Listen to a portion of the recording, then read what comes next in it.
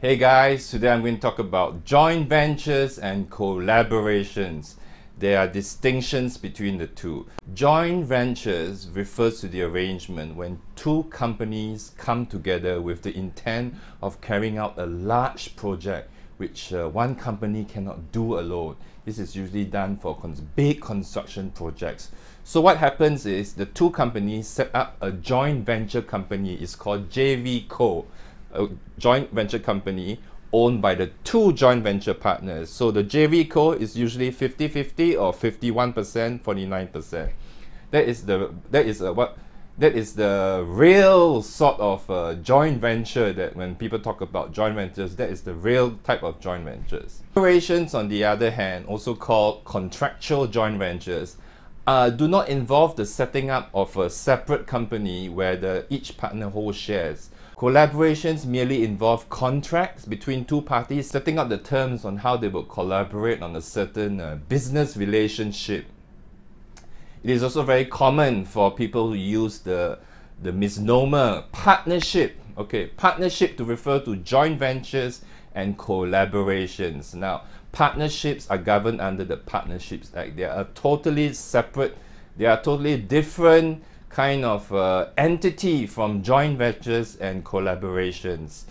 Most people think that partnerships involve, you know, two people collaborating, but actually no. And they will use uh, partnership templates, okay, when, it's, when, when in actual fact, uh, it should be a collaboration agreement. So, back to joint ventures.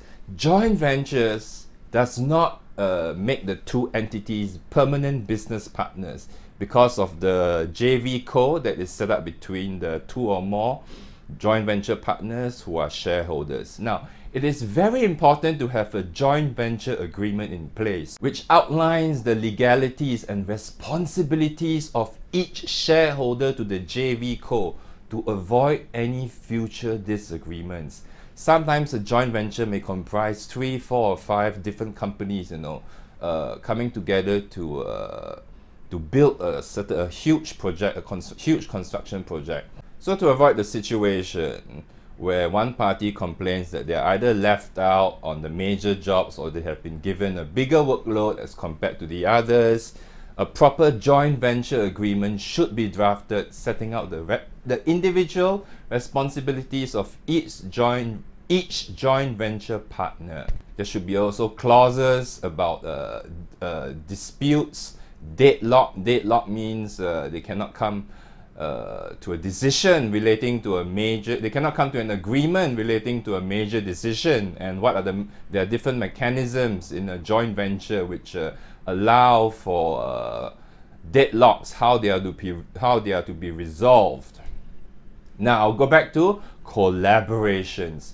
Collaborations are also called contractual joint ventures. Contractual joint ventures because no separate company is set up.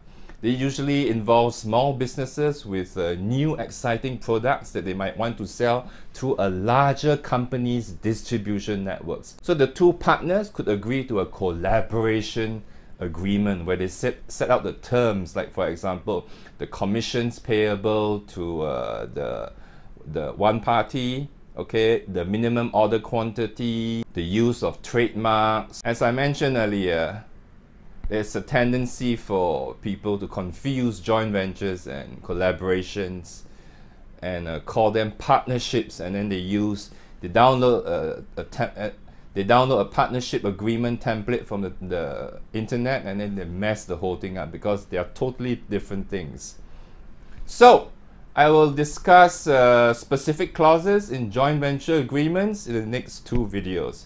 Thanks for watching this introductory video on joint ventures.